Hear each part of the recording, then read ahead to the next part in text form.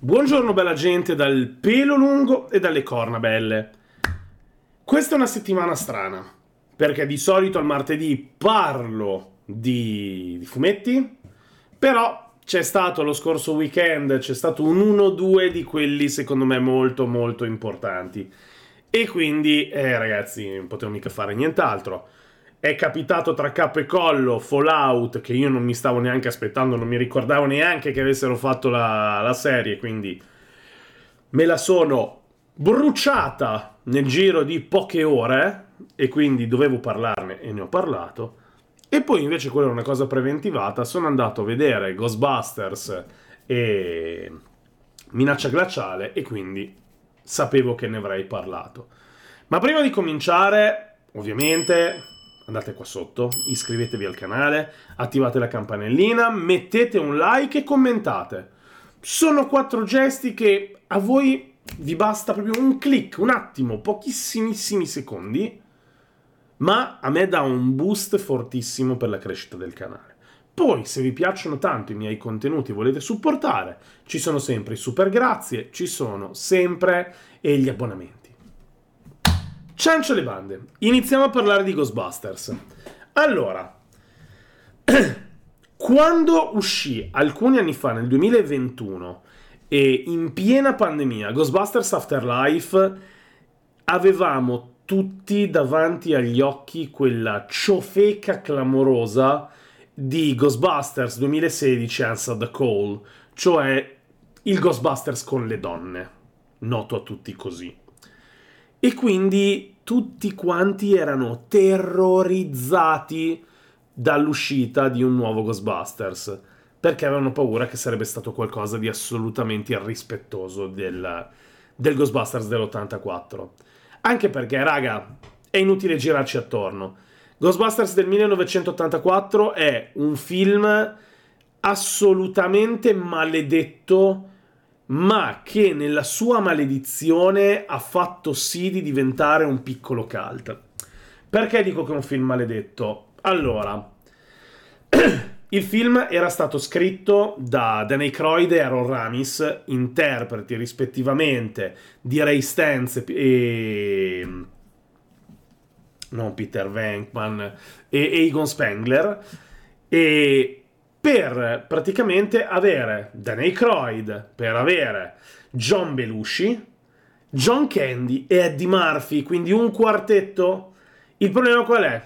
John Belushi muore per overdose, quindi via. Rimangono gli altri tre. Eddie Murphy, molto interessato per la figura di Winston Zedmore, praticamente decide di accettare l'offerta di Beverly Hills Cop di fare Axel Foley che sarà uno dei suoi film di lancio enormi, e un altro ce lo siamo tolti. Poi abbiamo John Candy, che eh, doveva fare con Spengler, e fa Splash, una sirena Manhattan, e quindi un altro ce lo tiriamo via. E per il ruolo di Venkman doveva esserci Belushi, lo hanno proposto a Steve Guttenberg, il Kerry Mahoney di Scuola di Polizia, e lui in quell'anno decide di prendere l'offerta di, del ruolo di Carrie Mahoney in scuola di polizia piuttosto che fare Peter Venkman.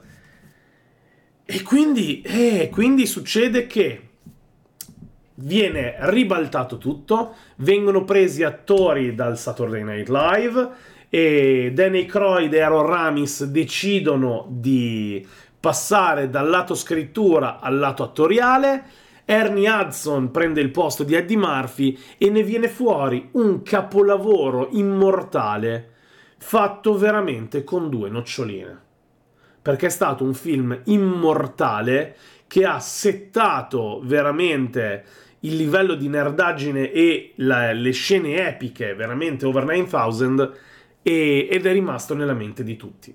Bene, arriviamo a Ghostbusters Afterlife un film scritto e, e diretto fondamentalmente da Jason Reitman e Jill Cannon.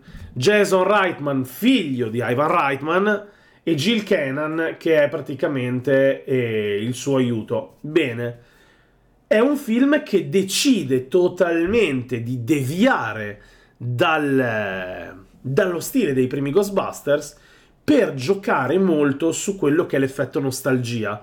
Su, invece che un film comedy, rimane un film per famiglie che approccia un po' lo stile e l'atmosfera degli anni 80 con il revival. Ok, effetto nostalgia a manetta, giocato bene, rispettoso della materia originale, altissimo livello. A tanti non è piaciuto, per me è un film enorme.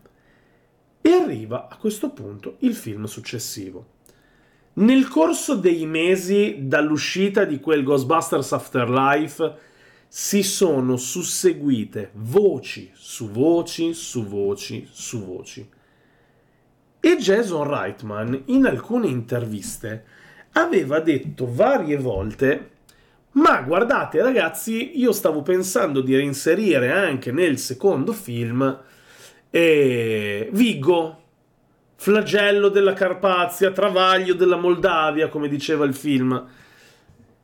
Perché tanto ci sarà da qualche parte un quadro equestre del grande Vigo.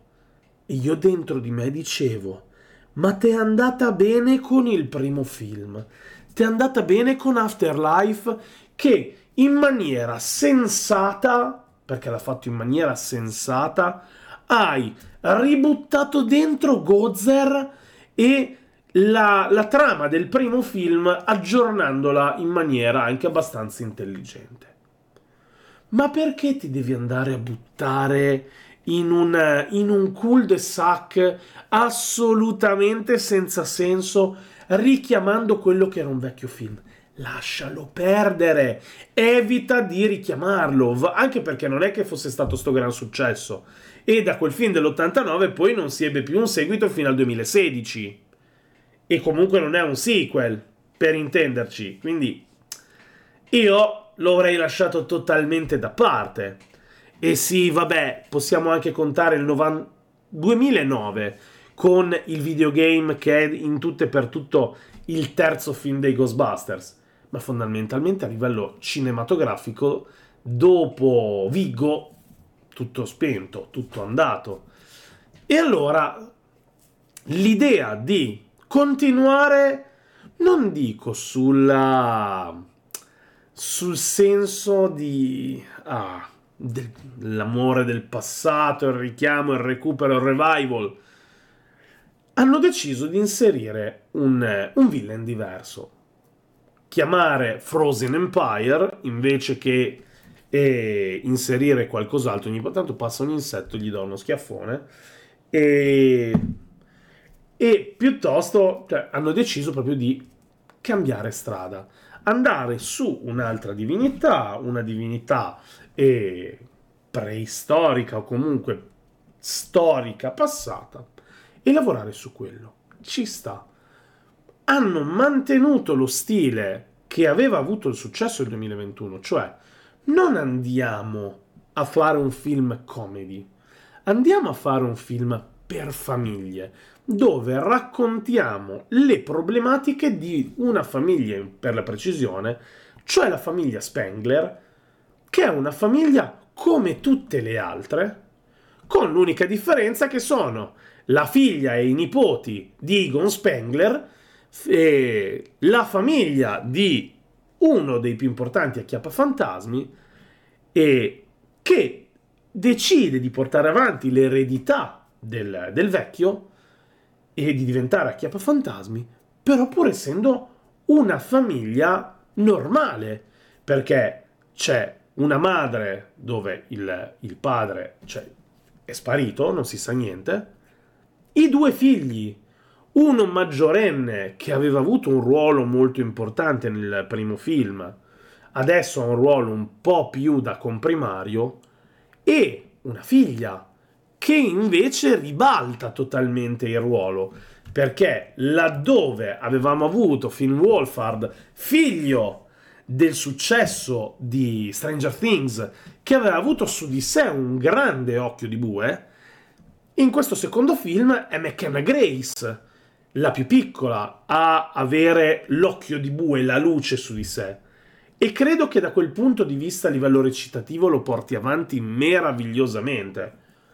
Intanto perché ormai non è più una bambina, sono passati 4 anni, è passato dall'avere 13 anni all'averne in questa, in, nella realtà 17, nella storia 15, e, e raccontare quello che sono i problemi emotivi, vitali di una giovane adolescente in una famiglia che onestamente è tutto fuorché normale.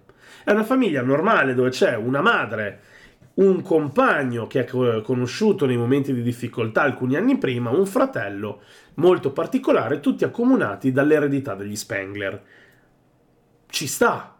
Come ci sta la classica situazione di lei minorenne e quindi obbligata a dover fare un passo indietro, a dover e doversi comportare da ragazzina. Perfetto. Un po' meno perfetti gli atteggiamenti di questa figura. Perché? Perché se da una parte è realmente la Spengler per eccellenza, perché è la figura di grandissima intelligenza, di spicco nel gruppo, è anche la persona più ingenua. Quindi accomuna in sé sia il lato Spengler che il lato Stans. Perché nel gruppo, in realtà, nel vecchio gruppo originario, Egon Spengler era lo scienziato poco aderente alla realtà, Ray Stans era il visionario decisamente e come posso dire e era il, il bambino che guardava cioè l'adulto che guarda tutto con gli occhi del bambino. Qua invece lei ha la grandissima intelligenza ma ha in alcuni momenti delle situazioni da adulta poi però ha delle scene assolutamente fuori non sense con dei comportamenti assolutamente non sense ci sta. Però è lei il motore del film.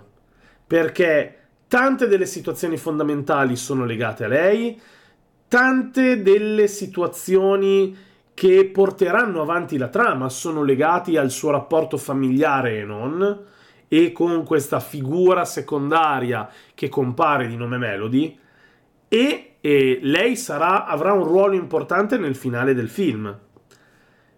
Però quelle scelte che compie sono secondo me delle scelte assolutamente fuori di testa, che non hanno, non hanno senso.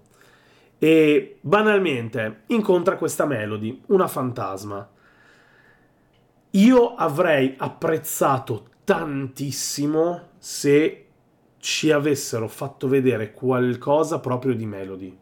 Banalmente, viene fatto capire che i suoi due genitori sono morti e non sono lì ma sono da un'altra parte. O peggio ancora, sono stati catturati dagli acchiappafantasmi. Quindi devi giocartela un pelo su, quel, su quella storia, magari facendoci patire molto di più la sua storia personale. E purtroppo da quel punto di vista il pathos su quella figura c'è, ma non è così ben sviluppato. È la parte, la parte emotiva di quella figura è tutta appoggiata a un Odimo grande come una casa. Qua bastavano 5 minuti in più di racconto in un determinato momento della storia e sarebbe stato perfetto, perfetto. Magari legandola anche un, all'evento che scatena tutto all'inizio del film. Sarebbe stato perfetto, perfetto. Le figure attorno mi fa piacere che Porrad nella figura del genitore e del genitore non genitore, quindi del compagno della madre che deve cercare di fare la figura del compagno ma non ancora considerato un padre. Quindi si gioca molto sui legami familiari, si gioca molto sul, sui rapporti interpersonali, meno sulla follia comica che aveva poi portato avanti i primi due film di Van Reitman. E secondo me ci sta perfettamente questo cambio di mood, anche se nella parte centrale c'è un pochino più di rallentamento. Così come ho apprezzato tantissimo che tutta la parte Cioè, tutta la parte centrale no. Bene o male, la trama di questo film è una grossa ricerca, è un grosso investigativo. Quindi è una caccia al, all'indizio, è una caccia all'informazione, allo scoprire qualcosa per riuscire a capire cosa sta succedendo. Perché gli eventi che si succedono non sono chiari e non si capisce cosa stia succedendo. Perfetto! Per me quella parte lì gestita così è gestita meravigliosamente perché il vecchio Ghostbusters, il primo fondamentalmente è l'ascesa dei Ghostbusters fino al, all'evento clou della, dell'arrivo di Gozer. Qua noi sappiamo già chi sono i Ghostbusters, noi sappiamo già che cosa possono fare, quindi e non ha più senso creare quelle scene come era nel vecchio film dove ogni tanto avvengono le scene che portano avanti la trama, poi sono tutte scene dove i Ghostbusters vanno fuori, cacciano fantasmi e fanno gli sbruffoni. No. Situazioni familiari e un continu- una continua ricerca, una continu- un continuo studio per migliorare, per scoprire quello che sono gli eventi. C'è un'altra cosa che io ho apprezzato e ve lo dico subito, spoiler. L'inserimento in maniera prepotente dell'elemento magico. Che cosa voglio dire? Perché gli altri tre film l'elemento magico c'era, era un elemento divino, erano figure assolutamente divine in grado di eh, utilizzare poteri magici.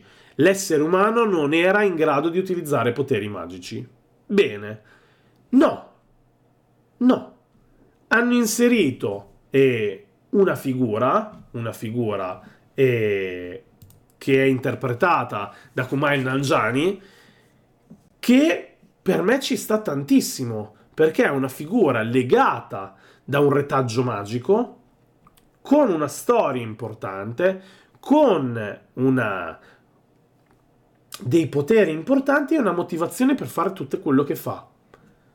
Bene, anche se è un po' rasciata la parte finale, bene, ci sta è importante che venga portato avanti, che venga raccontato e secondo me l'inserimento della, dell'elemento magico anche da parte umana è molto importante perché può dare delle possibilità di sviluppo anche per film futuri del franchise perché si potrebbe tranquillamente inserire nelle, nelle situazioni future un Ghostbuster in grado di utilizzare determinati poteri magici o banalmente la figura interpretata da Kumail Nanjiani può essere una figura che diventerà in pianta stabile un Ghostbuster che utilizzando i propri poteri magici può, può dare supporto importante ai cacciatori di, di fantasmi. Perfetto, è un, un'idea che può servire da supporto per il futuro. Meraviglia. Il cattivo è un po' leggero. Bella la parte dove viene raccontata la sua storia. C'è un punto dove viene raccontata la sua storia seguendo le sculture e sculture antiche con le sculture che, come, che si animano raccontando scene di guerra, raccontando scene di combattimento con questa divinità. Meraviglioso. Così come è chiaro che questa figura è lì per tutto il film a tirare le fila. Anche se nascosto, riesce in un certo qual modo a rendersi eh, pericoloso. Mi piace. Leggerini certi rapporti, cioè certe cose, come dicevo prima, accadono perché sì. Non il motore iniziale della trama, ma quello che porta poi al, alla all'assalto finale è una situazione assolutamente perché sì. Perché noi abbiamo visto esattamente la stessa situazione a inizio film e a inizio film, eh, cioè una situazione diversa a inizio film dove ci viene detto eh, che stava avvenendo qualcosa, peccato che nel momento iniziale stava avvenendo ma viene bloccato, nella parte finale viene detto che serviva un'altra roba e poi viene portato a termine leggerezza di scrittura però comunque interessante. Interessante come il fatto che, grazie al cielo, non hanno portato Vigo. Poi, che riescano a congelare i fasci di protoni, poi me lo verrai a raccontare.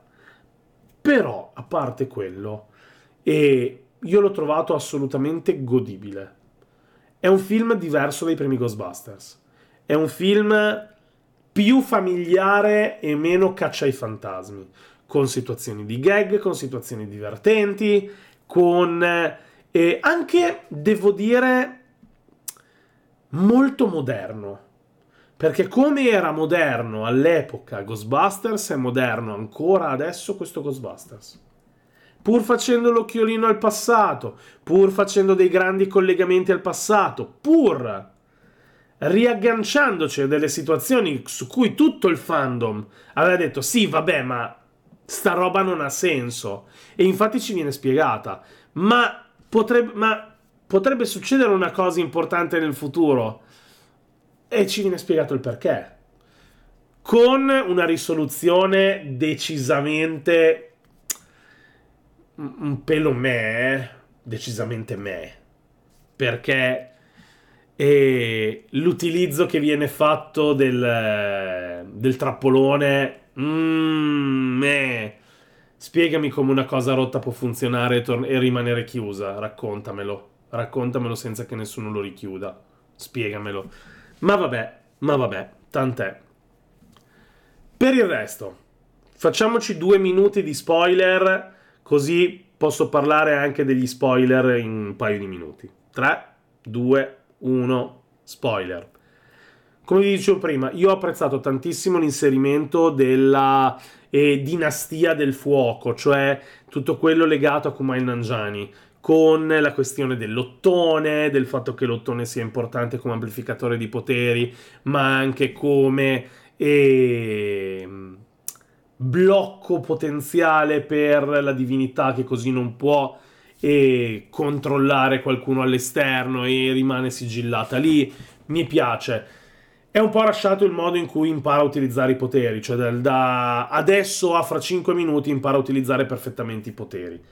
Sì, va bene. Però l'ho trovato interessante, cioè l'inserimento di un umano magico all'interno del mondo di Ghostbusters, secondo me è una bella scelta innovativa e anzi io esorto, spero che Jason Reitman possa portare avanti per il futuro anche un inserimento magico proprio all'interno di Ghostbusters. Perché? Perché la magia c'è, il soprannaturale c'è, quindi va sfruttato. Deve creare veramente l'effetto wow, anche utilizzando la magia. Ci sta. Quello che secondo me non ci sta sono alcuni comportamenti di Phoebe Spengler, così come la parte finale, come viene bloccato il mostro.